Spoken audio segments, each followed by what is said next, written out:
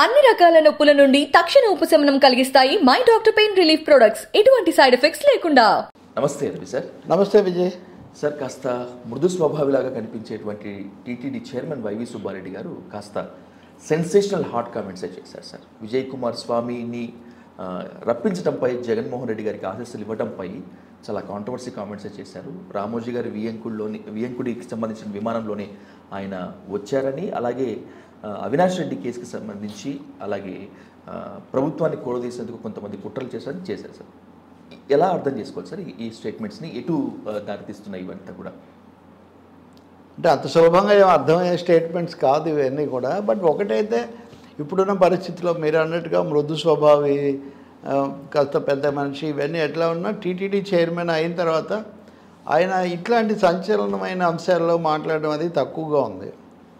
ఇప్పుడు ఈ కేసులో అవినాష్ రెడ్డి అంతకుముందు భాస్కర్ రెడ్డి అరెస్టు ఇంకా సేపట్లో తేలబోయే తదుపరి అడుగు ఎలా ఉంటుందని తెలుస్తుంది.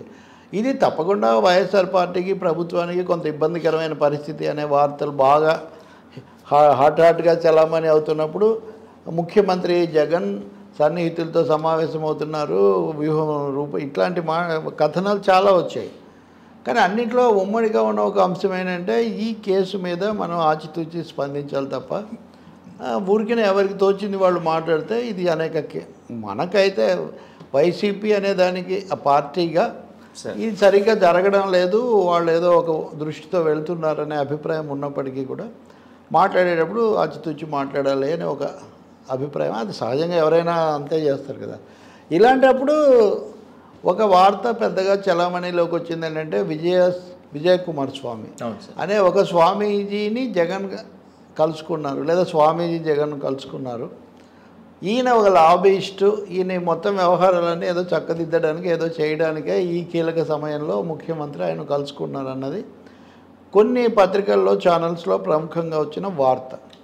సో ఇలాంటప్పుడు వైవి సుబ్బారెడ్డి దీంట్లో ఈ మీరు చెప్పిన సంచలన వ్యాఖ్యలనండి లేదా వివాదాస్పద వ్యాఖ్యలనండి అవి చేయటం. ఇది చేసినప్పుడు ఆయన రెండు విషయాలు. కేసు మీద కూడా కొన్ని కామెంట్స్ చేశారు కానీ ప్రధానంగా ఈ విజయ్ కుమార్ స్వామి ఆయన రెండు వేల ఏడు నుంచి కూడా నాకు తెలుసు. ఆయన చాలా ఆయనకు నా పట్ల మాకు సత్సంబంధాలు ఉన్నాయి. ఆయనతో ఆశీస్సులు ఇప్పిద్దామని నేనే చెప్పాను. ఆయన వచ్చి జగన్ను కలుసుకున్నారు. దీన్ని లాబీయింగ్ కింద చూపించడం సరైంది కాదు. ఆయన కేవలం ఒక భక్తుడిగా చెప్పడానికి వచ్చారు. చాలామంది వచ్చారు కదా జగన్కు. చాలామంది స్వాములు తెలుసు ఆయన గౌరవంగా ఉంటారు. సరే నాలాంటి ఎవడన్నా ఉంటే స్వాములు రాజకీయాలు ఇదేంటి? లేకపోతే ఒక స్వరూపానంద సరస్వతి లేకపోతే ఇక్కడ మొత్తం చ- విగ్రహాలు కూడా ప్రతిష్ఠించి అన్నిటి మీద కూడా చాలా అథా సాధికారంగా ఉన్న చిన్నజేయర్ స్వామి లాంటి వాళ్ళు లేకపోతే ఇంకో చోట అవధూత అని ఒక ఆయన ఉంటాడు అక్కడ. ఆయన దగ్గరికి కర్ణాటక ముఖ్యమంత్రి వచ్చాడు ఆయన వచ్చాడు ఈయన వచ్చాడు నీ వరకు జైల్ సింగ్ విమానం వేసుకొని కూడా రాజమండ్రికి వచ్చిన రోజులు కూడా ఉన్నాయి. మన పాలక వ్యవస్థలో ఈ స్వాములు మఠాధిపతులు ఈ రకరకాల అనుకుంటే ఇక్కడ ఈ విజయ్ కుమార్ స్వామి జగన్ వచ్చి కలుసుకోవడం అనేది ఈ పరంపరలో పెద్ద ఆశ్చర్యమేం అనిపించదు వీళ్ళందరికీ కూడా. జరిగేదే కదా పరిపాటి అని కానీ అక్కడ లాబీజం కోసం వచ్చాడు అన్నందువల్ల ఈ ప్రశ్న వచ్చింది.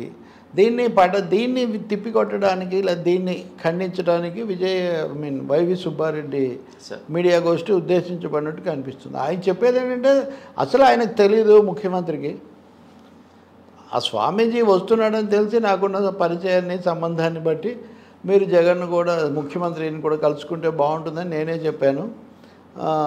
నేను కూడా లేను నిజానికి ఆ సమయంలో. సార్ అంటే ఏదో లాబింగ్ అంటే అట్లా కాదు. ఆయన మామూలుగా వెళ్ళాడని చెప్పడం. దాన్ని ఎక్కువగా చెప్పారు ఆయన. నువ్వు ఇలాంటి కథనాలు బాధ్యత రహితంగా ఇవ్వకూడదని. అంతవరకు చెప్పుంటే ఒక విధంగా ఉండేది. అక్కడ మేజర్ ట్విస్ట్ అక్కడ వచ్చింది. ఆ విజయ్ కుమార్ స్వామిని పిలిపించింది రామోజీరావు గారు బియ్యంకుడు ప్రత్యేక విమానంలోనూ దేంట్లోనూ పిలిపించారు. మరి మాది లాబింగ్ అయితే అది కూడా లాబింగే కదా. ఎందుకు వచ్చారు? మీ దగ్గరికి అయితే వస్తే భక్తి కోసం వచ్చినట్టు? మా దగ్గరికి వస్తే మటుకు భక్తి ఆశీస్సులు కాకుండా రాజకీయ ప్రయోజనాల కోసం వచ్చినట్ట. ఇలాంటి కథనాలు ఎందుకు ప్రచారంలో పెడతారని. అంటే అది తీవ్రమైన విషయంగా ఉంటుంది కదా. అంటే నిజంగా నిజంగా అయితే మనలాంటి వాళ్ళకు ఒకటే స్వామి రెండు రెండు శిబిరాలకు మధ్యలో ఒకటేసారి వెళ్ళటం అనేది. ఆ విధంగా కనుక ఆరోపణ లాబియింగ్ అనే ఆరోపణ కనుక చేసేటైతే దాన్ని గట్టిగా ఖండించాలని సుబ్బారెడ్డి ఆయన సీనియారిటీ వీటన్నిటిని బట్టి ఆయన పెట్టినట్టుంది. రెండవది టీటీడీ చైర్మన్గా ఈ స్వాములు పీఠాధిపతులు మఠాధిపతులు వీళ్ళందరూ నిరంతరం టచ్లో ఉంటారు కాబట్టి సంబంధం కూడా ఉంటుంది కాబట్టి ఆ పని చేస్తుండొచ్చు. ఏదైనా ఆయన చెప్పింది మటుకు చాలా నిశ్చితంగా ఖండించాలి దీన్ని. ఓకే సార్ ఇక్కడ అటువంటిది ఏం లేదు. ఇది కేవలం ఆశీస్సులకు సంబంధించిందని చెప్పడానికి ఉద్దేశించినట్టుంది. ఇంకా మరి దీని మీద మీడియాలో ఎలా వస్తుంది? అలాగే ఎవరి ఎవరైతే పిలిపించారని చెప్తున్నారో వాళ్ళు దాన్ని ఆమోదించి నిజమేనని చెప్తారా? అది నిజమేనని చెప్తే అప్పుడు ఈ ముఖ్యమంత్రి మీదో లేదా వైసీపీ మీదో ఈ ఆరోపణ చేయటం అనేది కూడా పెద్దగా నిలబడే పరిస్థితి ఏమీ ఉండదు. ఎందుకంటే మరి మీరు కూడా పిలిపించారు కదా వీళ్ళు కూడా పిలిపించారు కదా అని.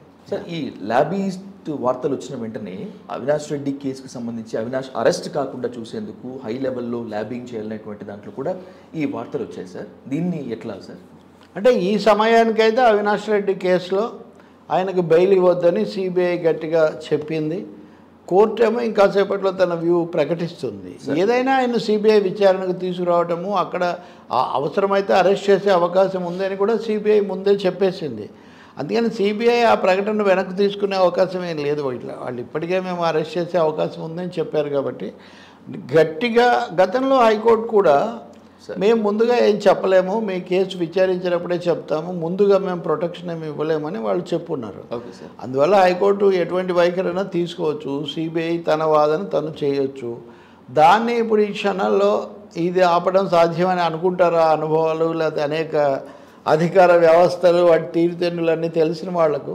సార్ ఏదో అప్పటికప్పుడు మంత్రించినట్టుగా వీటిని అడ్డుకోవడం సాధ్యం అనుకుంటారా? అంటే అంత సులభం కాదు వాళ్ళు అలా అలా భావించేటంత అమాయకత్వంలో వాళ్ళు ఉంటారని నేను అనుకోను. కానీ సుబ్బారెడ్డి వైవి సుబ్బారెడ్డి చేసిన కామెంట్స్లో అది కూడా చేశారు. మేమైతే విచారణ సక్రమంగా జరగడం లేదు వేరే వైపు ఎవరో ఒక ప్రభావంతంలో నడుస్తుందని మేము అనుకుంటున్నాం. ఏదైనా అంతిమంగా న్యాయం చేయిస్తుంది న్యాయం జరుగుతుంది. అమాయకులుగా ఉన్నవాళ్ళు లేకపోతే సంబంధం లేని వాళ్ళు బయటకు వస్తారని మేము నమ్ముతున్నాము. అందుకని అంటే అలా చెప్పడంలో ఉద్దేశం ఏంటంటే ఇది ఎలాగో నిలబడదు న్యాయమే గెలుస్తుందని మేము అనుకున్నప్పుడు ఒక లాబియింగ్ చేయాల్సిన ప్రత్యేకమైన అవసరం ఏముంటుంది? లాబియింగ్ కోసం కూడా ఆ స్వామి కాదని చెప్పడంలో ఒక ఉద్దేశం కూడా అక్కడ ఉన్నట్టుగా ఉంది. సార్ ఐ థింక్ ఈ ప- ఇవన్నీ కూడా ఆయనతో వైవి సుబ్బారెడ్డితో ఆయన చెప్పటము అంతకుముందు కూడా ఆయన చెప్పిన వాళ్ళు కలుసుకోవటం ఇవన్నీ చూసినప్పుడు ఉద్దేశపూర్వకంగానే ఒక సీనియర్ నాయకుడు ఒక పెద్ద ఆయన చెప్తే మంచిదని చెప్పి అధికార పార్టీ భావించినట్టు కనిపిస్తుంది మరి ఇప్పుడు ఇంకా it is other side react అవుతుందా లేదా? అవ్వకపోతే అంటే ఎవరైతే ఇక్కడ కారణం అని చెప్తున్నారో కారణం అని చెప్తున్న వాళ్ళు రియాక్ట్ కాకపోతే నిజమే అని భావించాల్సి వస్తుంది. అంటే వాళ్ళే పిలిపించారు. వాళ్ళు పిలిపించినప్పుడు ఎందుకంటే స్వాములు అందరికీ సమానమే కదా ఈ దేశంలో. అక్కడ ప్రతిపక్షాల వాళ్ళు వస్తారు పాలక పక్షాల వాళ్ళు వస్తారు. దేనికి సంబంధించిన బ్యూరోక్రాట్లు కూడా వస్తుంటారు. కాబట్టి చూడాలి మరి తర్వాత ఏమవుతుందో. But stove denial by Y V Subba Reddy sir on behalf of Jagan government అది ఇక్కడ కీలకంగా కనిపిస్తుంది. Sir thank you sir